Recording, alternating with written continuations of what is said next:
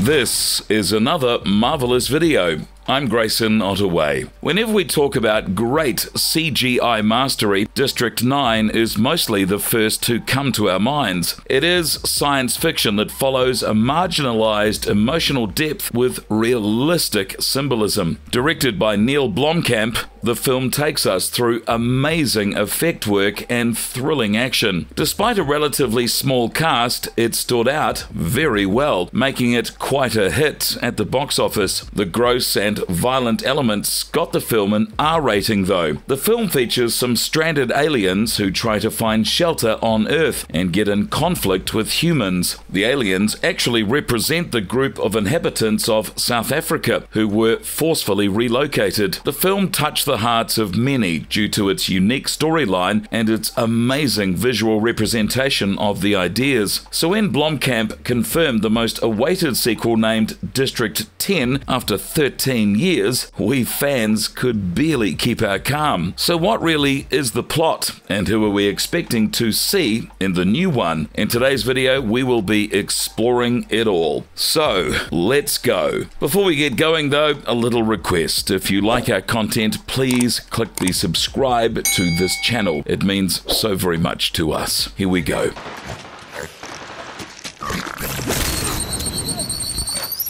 What was District 9 all about? Released in 2009, the film District 9 was a blockbuster hit, and critics applauded the movie's presentation. It is one of the greatest works of science fiction that was directed and written by Neill Blomkamp, with Peter Jackson and Carolynne Cunningham as production partners. District 9's concept was adapted from a short film, Alive in Joburg, which was released in 2006. This inspiration was also Blomkamp's work. So, what was the movie about? Well, it's not the first time we're seeing aliens on Earth, but only this time the visitors from space actually look like a mix of lobsters and grasshoppers. In a desperate attempt to relocate and find shelter on Earth, the starving aliens arrived on the planet in a hovering spaceship. They are nicknamed as prawns, and for obvious reasons, humans are terrified of them, and I don't blame them. If a gang of lobsters landed from a spaceship and started walking, I would be absolutely losing it too. But without any empathy, the prawns were forced to be resettled. The mission was to move them with a strong and heavily guarded security force that ensured the safety of the humans. Wikus van der Merwe was an official who was appointed to lead the task, but he chose the worst possible way to deal with the situation. Not only did he cheerfully destroy their living places, but he also used flamethrowers to escalate the matter to chaos. The aliens, though, didn't make a very good impression either. By appearance, they are filthy and disgusting, and their behavior isn't a treat for the eyes. So to humans, they failed to evoke even the littlest of sympathy. Along with many other things, District 9 successfully delivers the idea that not everyone who comes down from a spaceship will be strikingly handsome and made of steel. The ruthless treatment towards refugees is also an important part of the mockumentary. Merwe got infected by some alien virus and was slowly transforming into a lobster. He grew lobster claws and hid in District 9. The weapons that the alien possess are also explored by the same security, which is portrayed in most of the plot. They are much more technologically advanced and superior in comparison to human weaponry, but they don't really use them to the fullest extent as a defense. These, however, are not something that humans can operate, so you can see where this is going. Yes, Merwe's lobster claws allow him to use them. The Nigerian gangsters and security company actually end up bribing the aliens in order to exploit them. But what can you even bribe aliens with, you ask? Cat food? That's right. The movie, however, showcases these scenes on a very serious note. The South African theme of the film brings out racial exclusion, such as moving the race to a remote area. District 9 also resembles District 6 of Cape Town. We are all aware of the historical aspects of this residential area and how over 60,000 inhabitants were forced to leave in the 70s. The people's houses and businesses were bulldozed and they were forcibly removed from the area, much like the prawns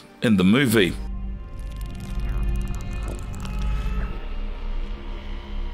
The climax of District 9 has enough room for a sequel. District 9 challenged the entire sci fi genre, and the genre enthusiasts cheered on as it became one of the best politically driven science fiction action movies. There have not been a few movies where an alien race arrives on another planet and is immediately categorized and treated as second class citizens, even though they have much more advanced technology. Many theories have been speculated, while fans eagerly await the much needed sequel, District 10, announced by director Neill Blomkamp. Let's dig in for clues and the missing pieces in the original to understand where it might pick up from. Blomkamp did an excellent job with his debut film, creating a mockumentary on the struggle prawns go through in their interactions with humanity. It makes perfect sense that it is a direct allegory to what marginalized groups that went through in South Africa during apartheid when the whites started to force their way in. District 9 ended with the mothership leaving Earth with Christopher, our prawn ally, in it. But does it have to end there? Christopher left in quite a hurry, leaving most of of his kind behind for unknown reasons. Will he come back for them, or will they have to fend for themselves again and live the same struggle in the future? We also see our main character, Wikus, gradually turning into a prawn, and the gradual change in his attitude towards circumstances as he slowly becomes an alien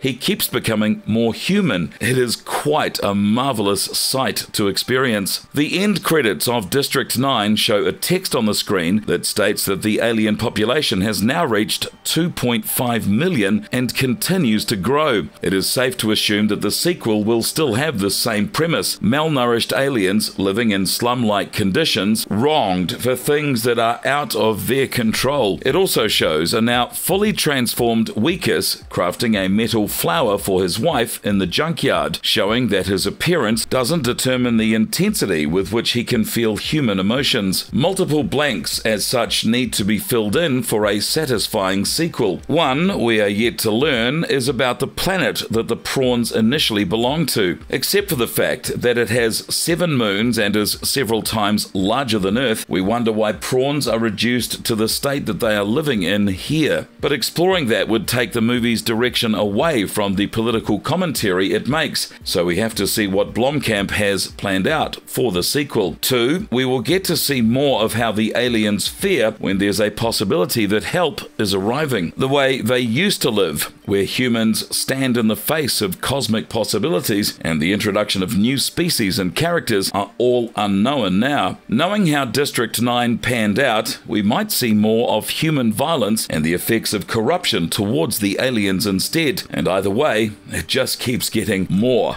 and more interesting.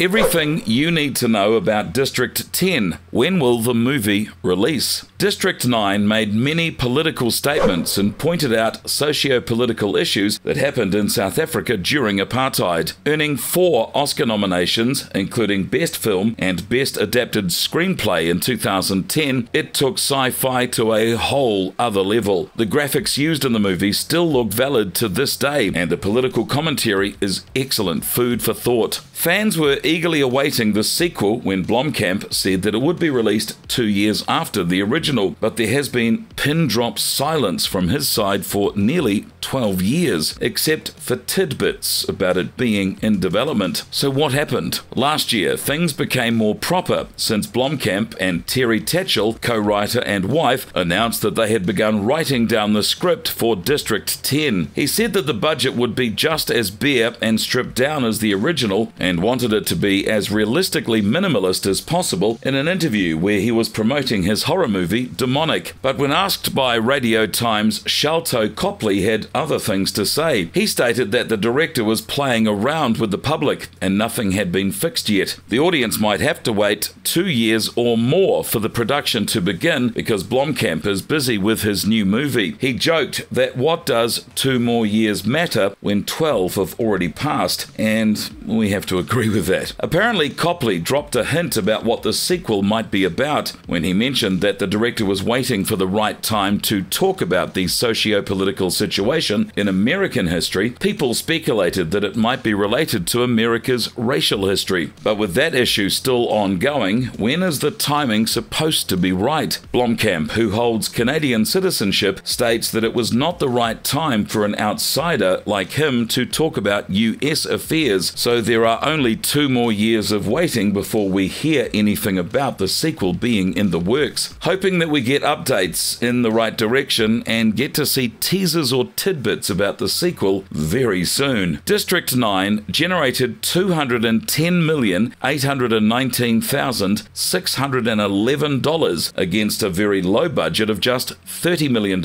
and the film made revenue of $67 million. The unusual marketing campaigns that went around the movie were actually pretty effective. Various modes of transportation, such as buses, trains, and even billboards, had a toll free number written to report any alien like activities that revolved around the movie plot. This encouraged many people to call the number and be made aware of the movie's release. Surprisingly, this worked. Science fiction fans also got pretty excited as District 9's marketing effort reached Comic Con San Diego, and Sony too ran ads about the film through various media platforms. Overall, the film flourished, and we, sci fi fans, still love it to the very core. So, what the long planned sequel, District 10, has to offer will keep us awake at night. And that, friends, is the end of this video. If you like our content, please don't forget to leave a like and please leave a comment below about District 10 and do subscribe to us if you haven't already. Have a good one and please be safe.